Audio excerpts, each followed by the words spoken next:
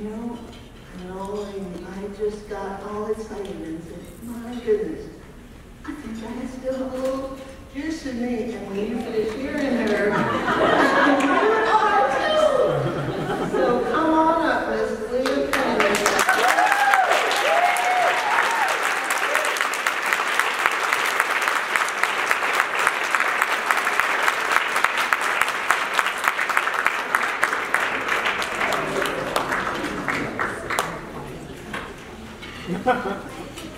Mama Ira, I hope you have plenty of juice left in you.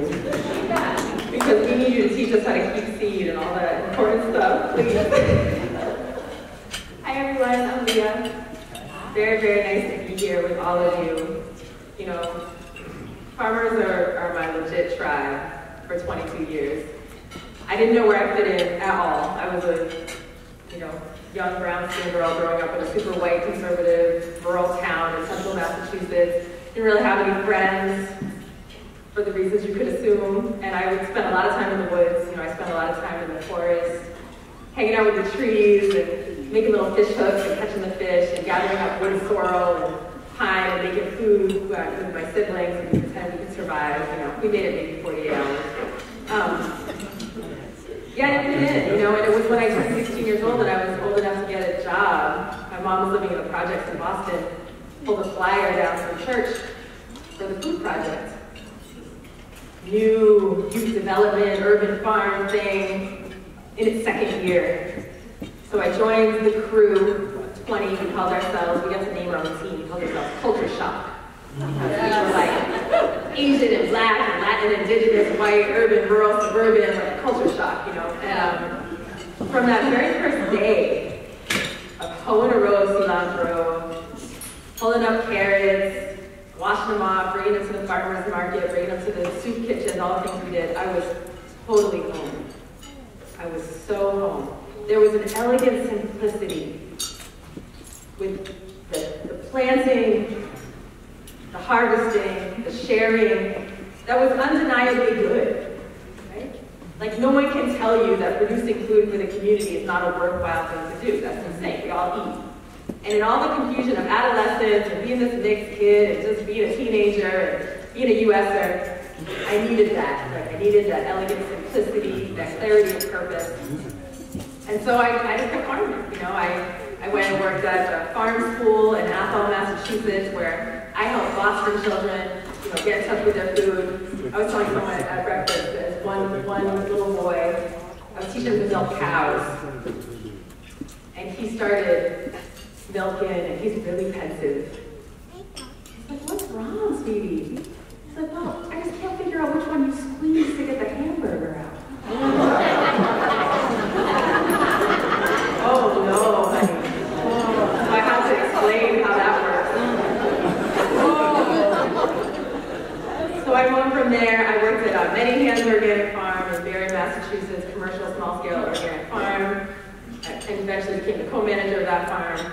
And then uh, started an urban youth project like the one that I have been so blessed to be part of. It's still going today. And we take you know toxic lots and turn them into uh, community gardens and youth farms and brand new businesses, all of that. And, and eventually soul I'll tell you a little bit about. But I share all of that because even through it, even through a lot of questions about whether I belonged in the space, the hardships, the cold numb fingers in October harvesting lettuce, you know, it was very clear to me of all the types of folks that I've ever met across the globe in every space, like farmers and my people. Get it. so it's really great to be here with y'all. We're gonna do some storytelling tonight. Um, in Haiti, where my maternal lineage is from, when it's time for stories, pretty much every night after dark, the elder or the storyteller says, krik, and everyone responds, krak. So peek, peek. I want to shout out one of my Haitian ancestors, Cecile Fatiman. Cecile Fatiman is a priestess, religious leader. Um, back in the day, in 1791, things were real rough in Haiti. Uh, historians say Haiti was the most brutal form of enslavement, you know, anywhere in the post-new world. They figured it was economically more advantageous to ship new folks in than to keep them alive and have them birth children. I won't go into the gory details, there are children in this room, but it was, it was really rough. And, and folks decided like liberty or death, essentially. Cecile Fatiman organized people to come to a ceremony.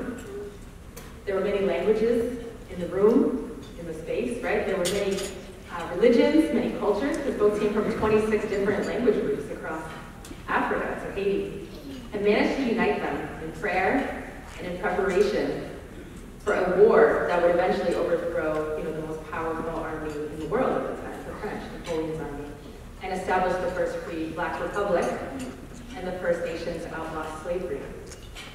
So I'm calling Cecile Fatiman into the room because we as African heritage folks, we always honor our ancestors before we do anything. So I want you to think of an ancestor you want to honor right now, because all of us are here because of somebody's sacrifice. And I'm going to count to three and say their name like you mean it. One, two. Thank you. I also want to honor um, the first peoples of this land. You know, farmers, who depend on land. Can't grow any food without it. And personally, our, our land is uh, Stockbridge Munsee Mohican land. And folks who were with me earlier, I was explaining this really deep land sharing project we have going on uh, with the Stockbridge Munsee Mohican, which is essential for us. Um, even though many of us have black ancestry, indigenous ancestry, doesn't mean we came from this particular place. Right? So I'm curious um, whose land y'all are on. You're all from different places, Virginia. Can anyone let me know? Algonquin, Powhatan.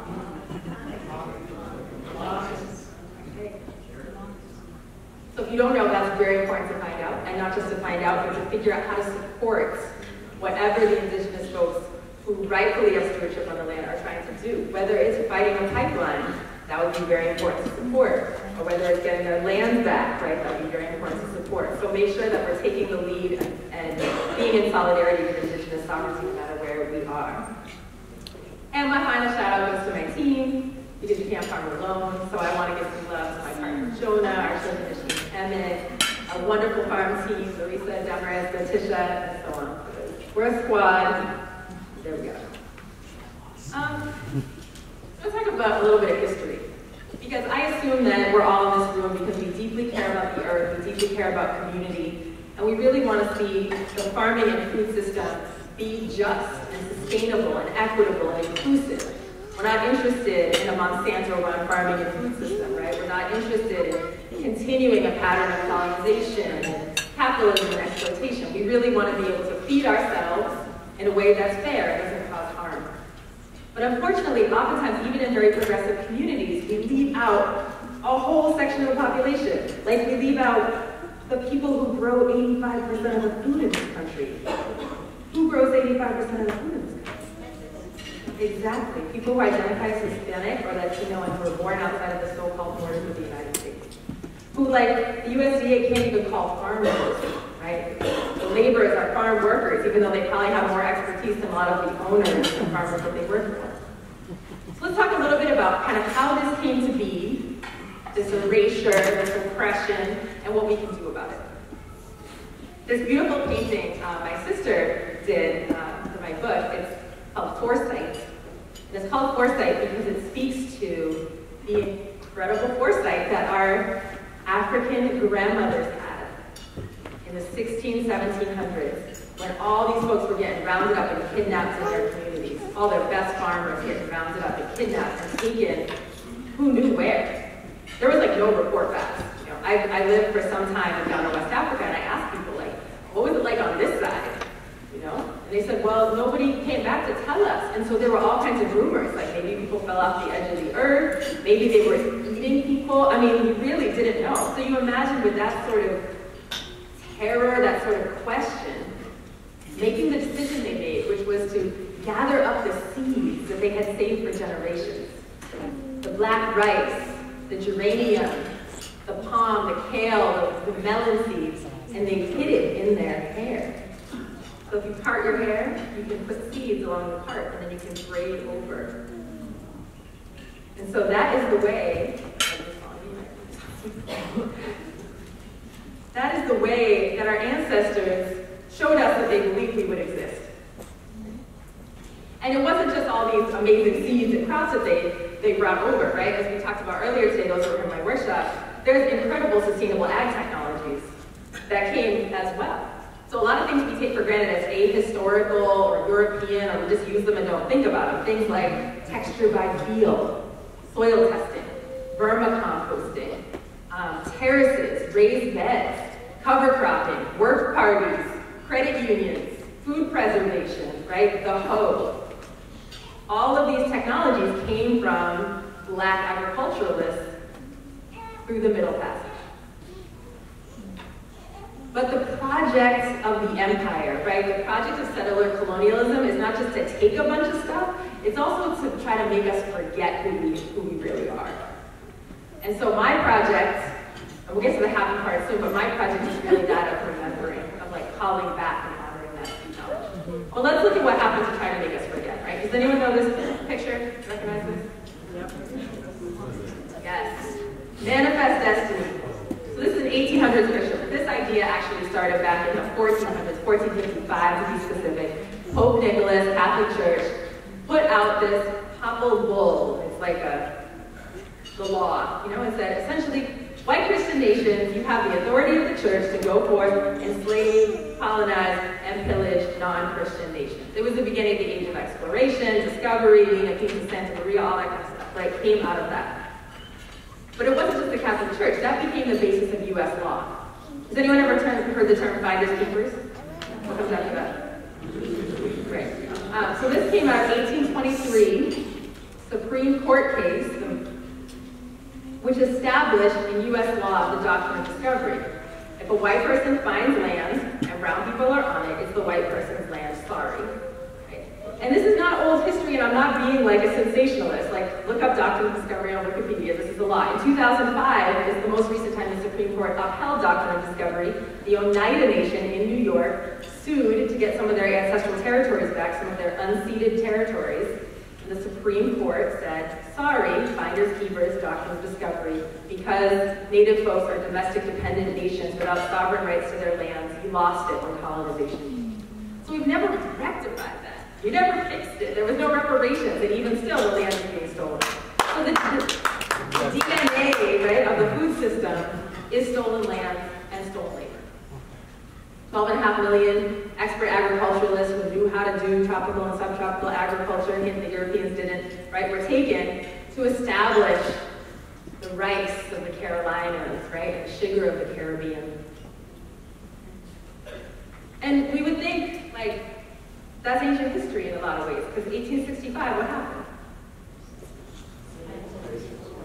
Emancipation Proclamation, 13th Amendment, right? So we should be good. But unfortunately, the U.S. had never decided to mutate its own DNA out of the stolen land, exploited labor situation. So in 1865, a, loop, a loophole was put in the 13th Amendment, right? Slavery is outlawed except in the case of if you're convicted of a crime. If you're convicted of a crime, slavery is legal. Look it up, 13th Amendment. Again, not exaggerated, that's exactly the wording. And so, the South created the Black Codes, which are a series of laws that criminalize blackness. You see loitering and vagrancy on the books for the first time all across the South. That means hanging around or not having a job. You get rounded up, you put back into prison, and you're leased at the benefit of the state's coffers to the plantation, the mines, and the railroads. This was not a side note in history. 73% of Alabama's state budget from 1866 to 1869 came from leasing African American people back to the plantation. This is significant. And even today, we still have penal farms. Like, who put out those fires in California? Right? People in orange suits, right? So that's still legal to be underpaid or unpaid if you've been convicted of a crime. It also was the beginning of uh, sort of the proto-social service agency because if your parents, if black parents were not industrious and honest, children would be taken away and apprenticed to their former masters. So it was also the beginning of what we now call the social. Right, so most black folks as farmers uh, were share, sharecroppers or tenant farmers. That's a debt peonage system where you often end up in more debt at the end of the season than the beginning because you don't actually own the means of production. Um, and you can't leave because you're under contract. And what's incredible to me you know, late 1800s, early 1900s, even facing these, these really onerous, really tough situations, you know, my ancestors, uh, by 1910, had purchased 15 and a half million acres of land out of their own pockets. Like 40 acres and a mule was a cool idea. It actually came out of um, Reverend Frazier and 30 uh, black ministers got together with the Union Army, uh, General Sherman, and said, you know what we really need is we need land, we need to be able to own our own farms. He was like, cool, we'll take some land from the you know rebels in the South and we'll give it to you. But Andrew Jackson reversed that policy. So that land was never given. There was no free land. There was no 40 acres and a mule. Um, but people did purchase land. 14% of the nation's farmland, in fact, which was roughly proportional to the amount of black folks in the country. It's incredible. But this was so threatening and so disruptive to the system, uh, particularly in the South, that there was a backlash. So you see the rise of white supremacist terrorism after Reconstruction. Um, 4,500 people were lynched in the community. The majority of those people were attempting to own land or were owning land because they weren't staying in their place. And that's a lot of people, but I'm going to read you one tiny testimony of one person just to give a sense of what it was actually like to try to be a black farmer in the South at this time. So this is um, October 4th, 1908. Uh, 50 hooded white men surrounded the home of a black farmer in Hickman, Kentucky after midnight and ordered him to come out for a whipping. When David Walker refused and shot at them instead, the mob poured coal oil on his house and set it afire, according to contemporary newspaper accounts. Pleading for mercy, Walker ran out the front door, followed by four screaming children and his wife carrying a baby in her arms. The mob shot them all, wounding three children and killing the others. Walker's oldest son never escaped the burning house. No one was ever charged with the killings, and the surviving children were deprived of the farm their father died defending. Land records show that Walker's farm was simply folded into the property of a white neighbor. The neighbor sold it to another man whose daughter owns the undeveloped lands today in 2017. So this came from last year an Associated Press investigation uh, that, that did 406 case studies like this that amounted to 24,000 acres of land. It's important to read. So the Great Migration, you all know what that is? Six million black people go north. And so I had kind of been taught about the Great Migration from the perspective of like there's jobs in the, in the north, um, there's jobs in the city, people are going to work in the factories during the war, which is partly true, part of the Renaissance, all of that. But there was a, a refugee crisis. People were fleeing the terrorism in the South mm-hmm. and, then trying to escape that to the paved streets of the urban north. And so there was a labor vacuum. And this was an opportunity for the United States to kind of reckon with its history and say, you know, maybe we need to rethink how we're doing farm labor in this country, rethink how we're doing agriculture in this country. But instead of doing that, it looked for a new population to exploit. Any idea who was next? Migrant workers, exactly. So starting, it was really the late 1800s with the Asian community, but starting in earnest, 1930, 1940, um, the Bracero program, bringing in Mexican migrant workers. And around the same time was a huge renaissance for workers. We had the New Deal, right, which provided Social Security. It provided um, a limit to the working day, overtime payments, the, the right to unionize, child labor protections. This was a very important time in history for the worker. But the Democrats in the South, and at the time they were, they different from the Republicans, you know, it switched. Um, but they wouldn't vote for the law. FDR tried to include everyone, but they wouldn't pass this package unless it excluded black and brown people. Now they couldn't put excluded black and brown people in the law, so what they did is this excluded agricultural workers and domestic workers, who were the people of color in the community. And to this day, if you read the National Labor Relations Act and the Fair Labor Standards Act, there's still an exclusionary clause for farm workers and domestic workers, which is why, if you're a farm worker in this country and you work on a farm with less than seven people, you're not even entitled to a minimum wage. You are not entitled to a minimum wage if you are a farm worker on a small farm in this country. Your state might have different laws, but federally you are not. What's that? I just told him help we took a pay cut. So, and here are the people who grow, you know, 85% of the food in this country. Don't have the right to unionize, child labor protections are lacking, and so on. Of course, we don't it wasn't only racial terrorism led to the decline of the black farmer. You know, now only about 1% of farmers are black. Farming and being a veterinarian or being a farmer, farm manager, they alternate between being the whitest professions in the United States. They go back and forth pretty much every year, right? The second reason was federal government discrimination, right? So USDA has programs. We all know about this program, right? Commodity programs, it's credit, technical assistance, etc. Crop allotments. Well, because a lot of it's controlled at the county level, if there's discrimination in your community, there's going to be discrimination in the allocation of resources. And this was happening for decades throughout. And so there'd be a drought, Farmer Joe, who's chummy with you know the agent, would, would get the loan for the irrigation, black farmer down the road, I'm sorry, we can't find your application. Right? So this was happening decade after decade. But during the civil rights movement, it got really tricky because these programs became, as Pete Daniel would say, sharpened into weapons to punish civil rights activity. So if you were found out to try to register to vote or to sign up for the NAACP, you could be damn sure that you were not going to get any of those resources to which you were entitled. The farmers uh, filed a class action lawsuit against the federal government. It was settled in 1999, the Pigford v. Glickman case.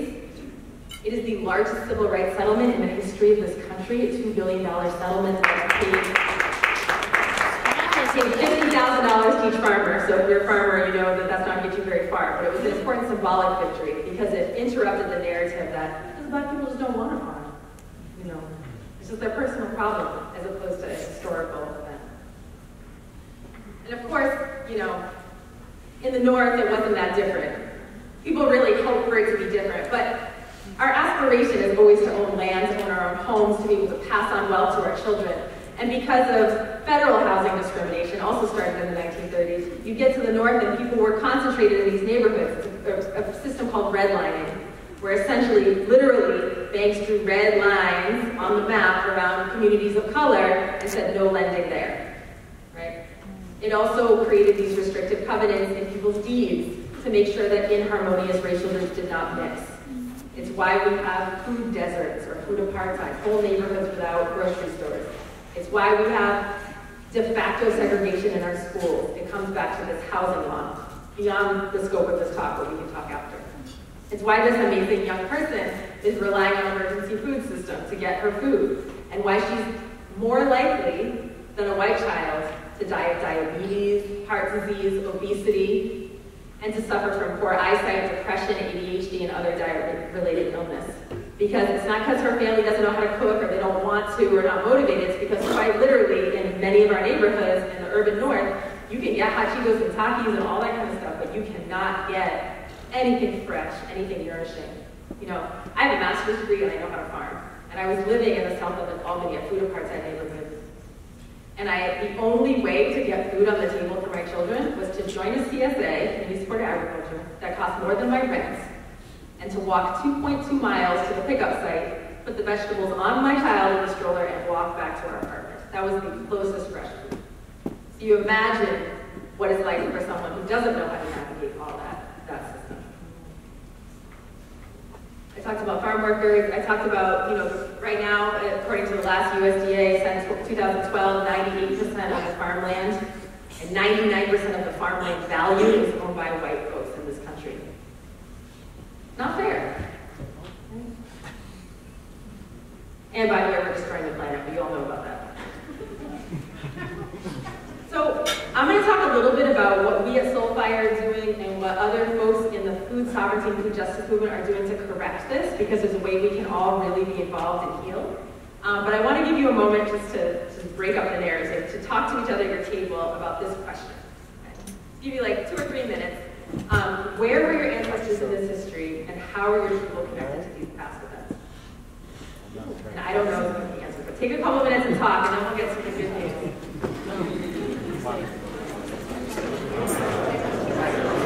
news.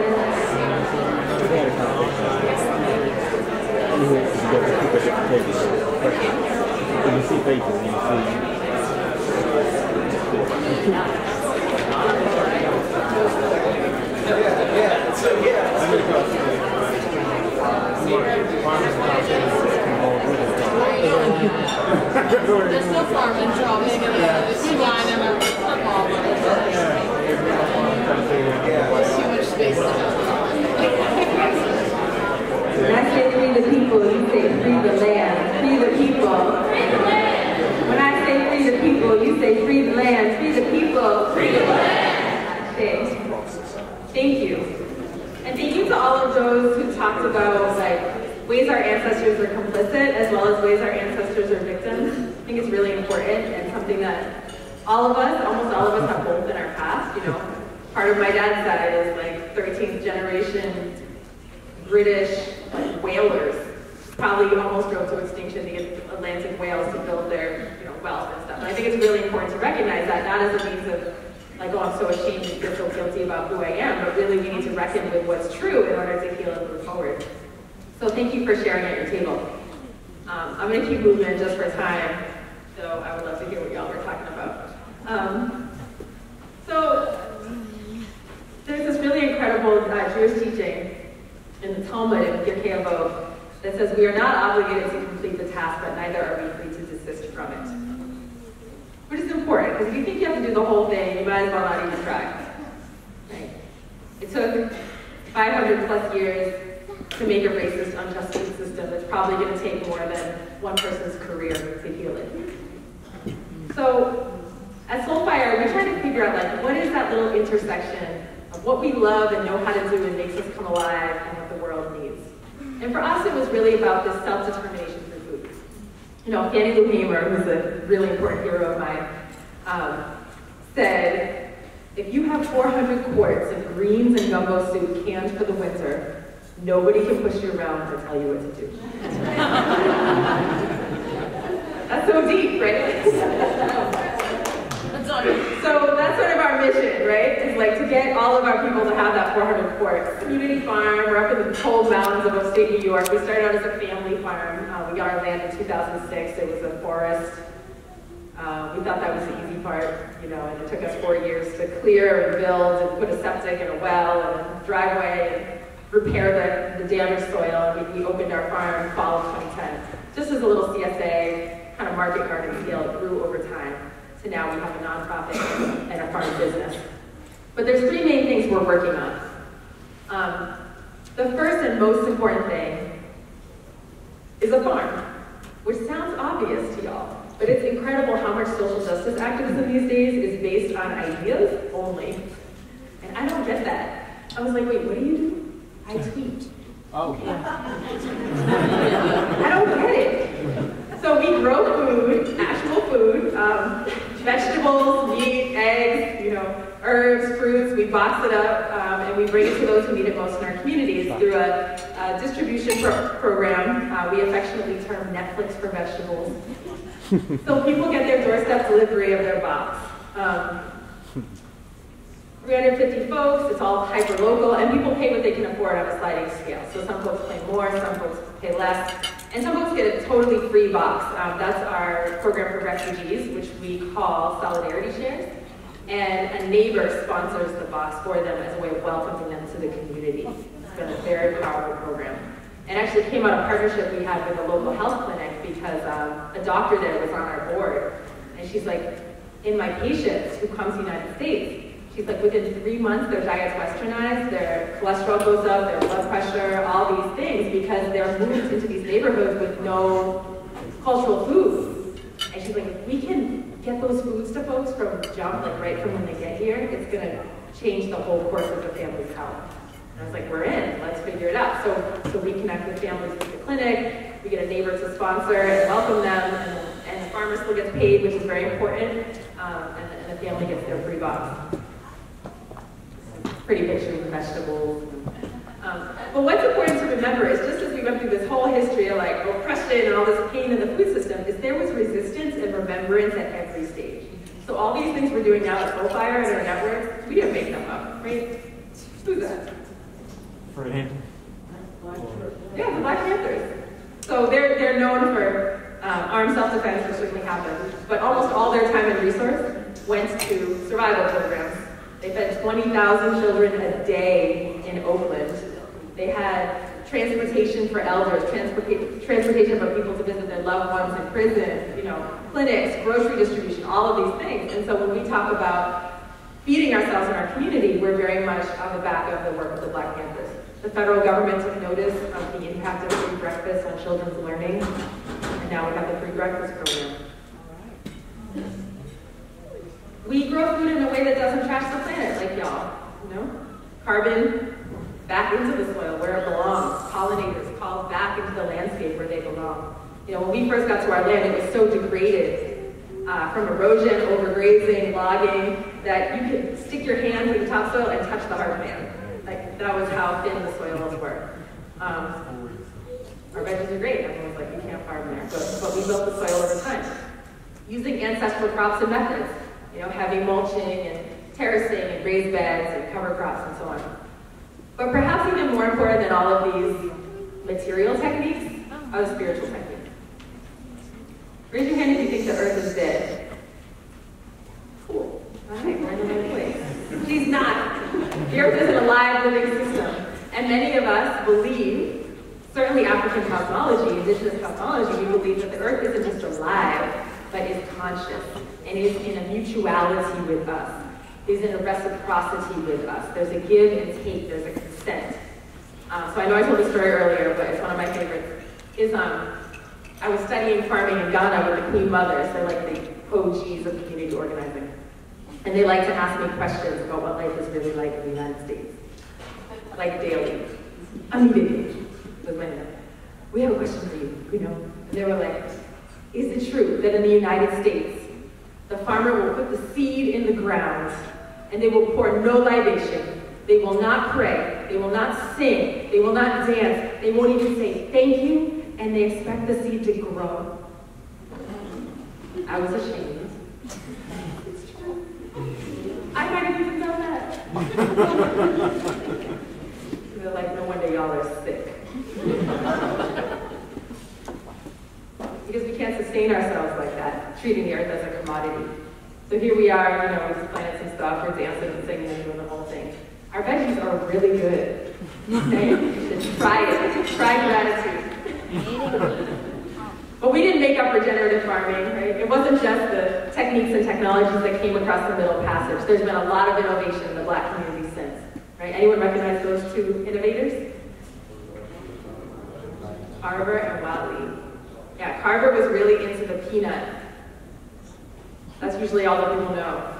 But the peanut, the reason you really into the peanut is the legume, and legumes are nitrogen fixers, right, in collaboration with rhizobial bacteria, they heal the soil. So he was really the grandfather of organic agriculture. A whole generation before Rodale, he was teaching at Tuskegee University how to use cover crops, composting, heavy mulching, diversified horticulture, livestock foraging, all of these things he was teaching to his students. He even created a movable schoolhouse before extension to go out to farmers and teach them these techniques because he said not everyone can come to the university.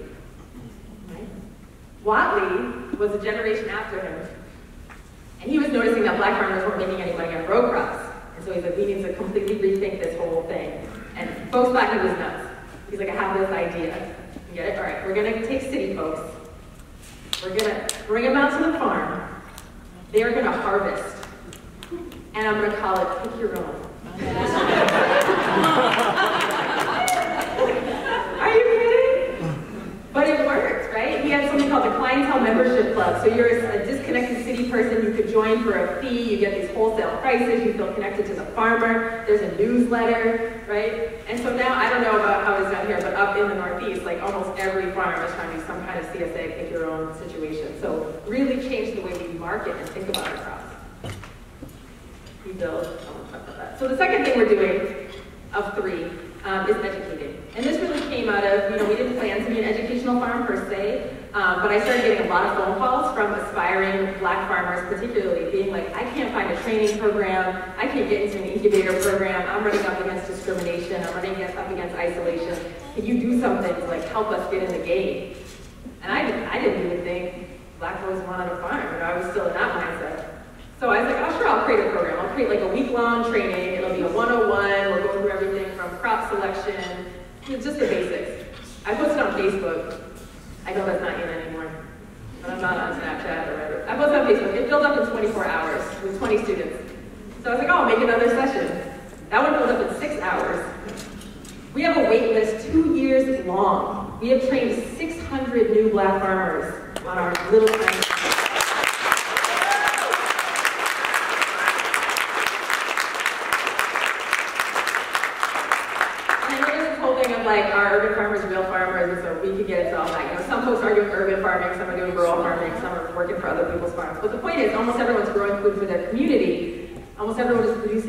$1,000 worth of product, right? And so technically, they could get the number, right, from the USDA.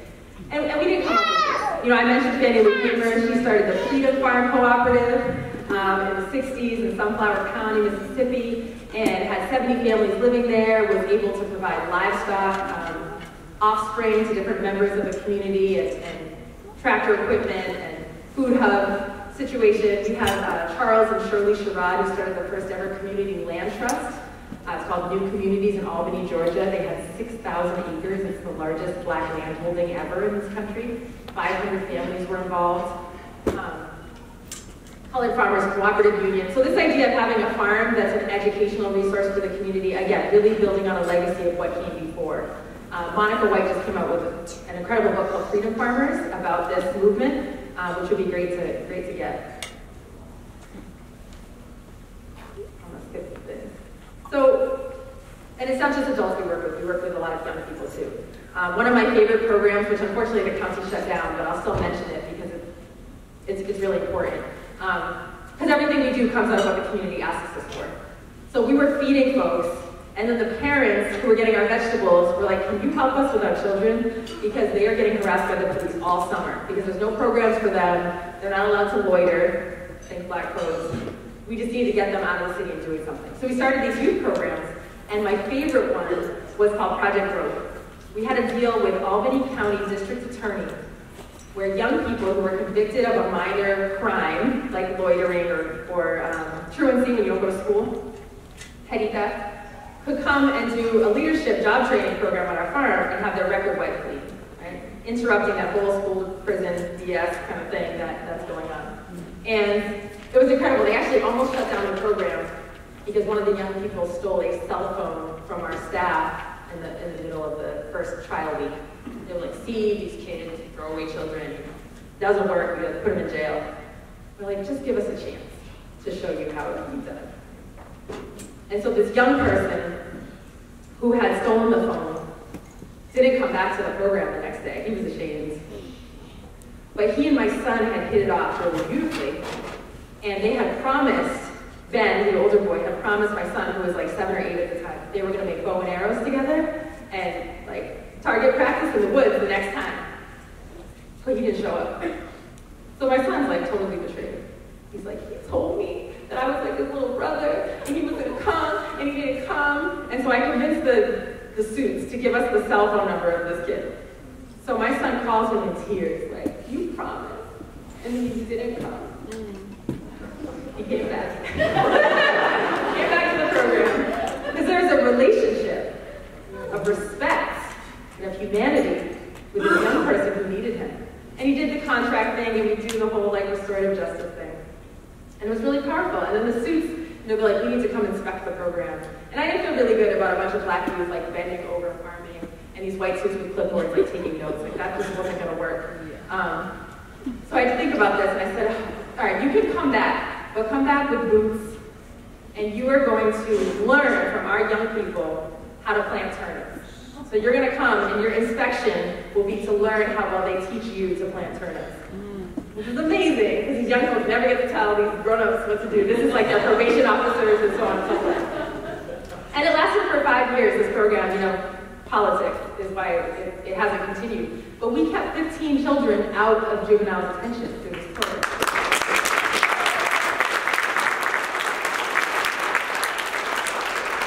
And to some of them, they're awesome. I get to them do all kinds of nuts things, like take off their shoes and walk around and feel their ancestors and stuff. They, they pretended they didn't like it, but they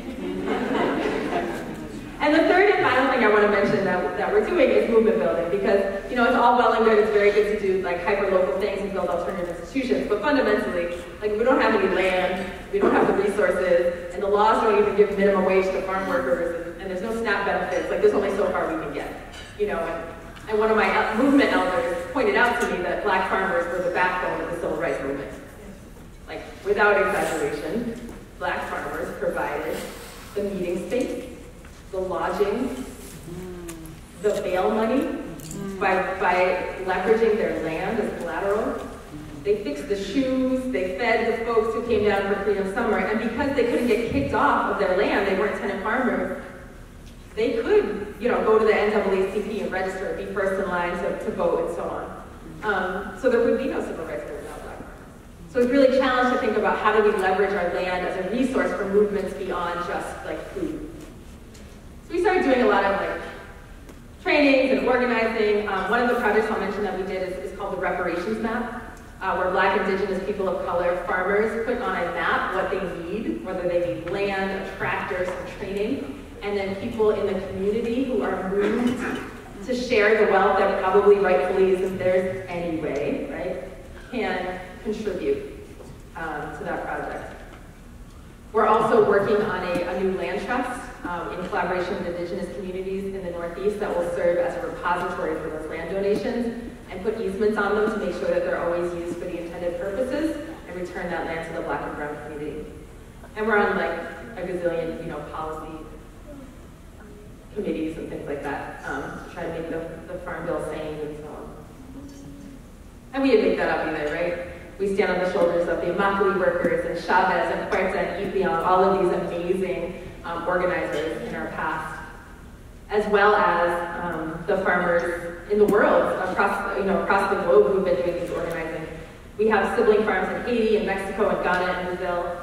And the, the Haitians in particular are really powerful because they're leading the anti-GMO movement for the world. You know, they're members of Via Campesina, right? And in 2013 won the Global Food Sovereignty Prize because they interrupted a shipment of Monsanto donated seed, burned it at the port, and said, no thank you, we're gonna keep our Creole seed. Like, we do not want to.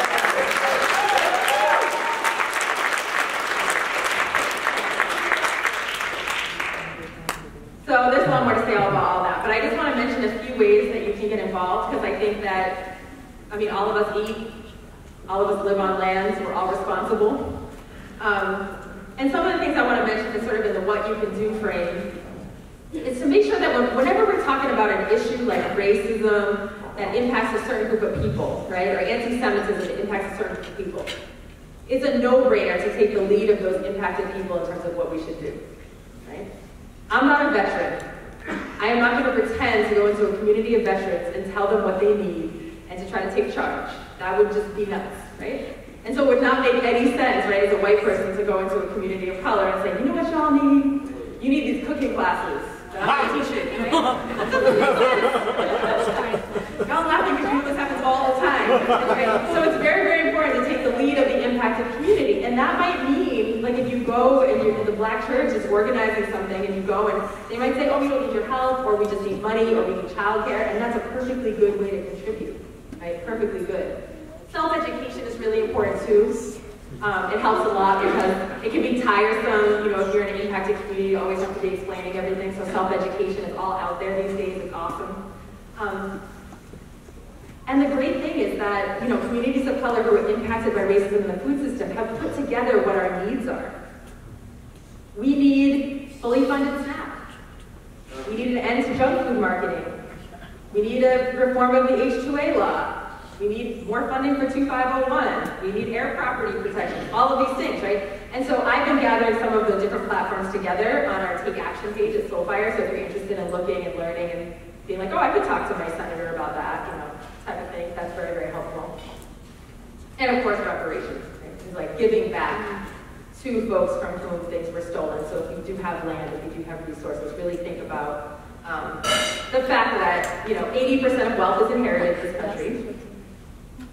The wealth gap right now between white folks and black folks is 16 to 1.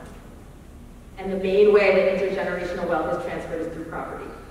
If you add those three facts together, most likely some of the land that many of us hold needs to be shared. And here's just a few of the organizations that are doing the work that are led by black and brown people. There's hundreds more. Again, those are all listed on our website, so you can reach out and get involved and support some faces to the names. Mama Karen, Baba Malik, Dennis Derryck, these are just some of the, the food movement leaders right now. So I'm gonna end with a poem, and I need a friend to help me read it. And I pick you, Jerome, come on. Get up there. I know you're all the way back there, but you're my new friend. So the way it's gonna go um, is I read a line or like a little chunk, and then you read a line or a little chunk, and so on. Yeah, yeah, come on. It's more fun if I can go. See, see what you can do. Never mind, you can't tell one letter from another. Never mind you born a slave. Never mind you lose your name. Never mind your daddy dead. Never mind nothing. Here, this here is what a man can do if he puts his mind to it and his back in it. Stop sniveling, the land said. Stop picking around the edges of the world. Take advantage, and if you can't take advantage, take disadvantage. We live here, on this planet, in this nation, in this country right here, nowhere else. I got a home in this rock, don't you see? Nobody's starving in my home, nobody crying in my home, and if I got a home, you got one too. Grab it, grab this land. Take it, hold it, my brothers, make it, my sisters, shake it, squeeze it, turn it, twist it, beat it, kick it, kiss it, whip it, stomp it, dig it, plow it, seed it, reap it, rent it, buy it, sell it, own it, build it, multiply it, and pass it on. Can you hear me? Pass it on.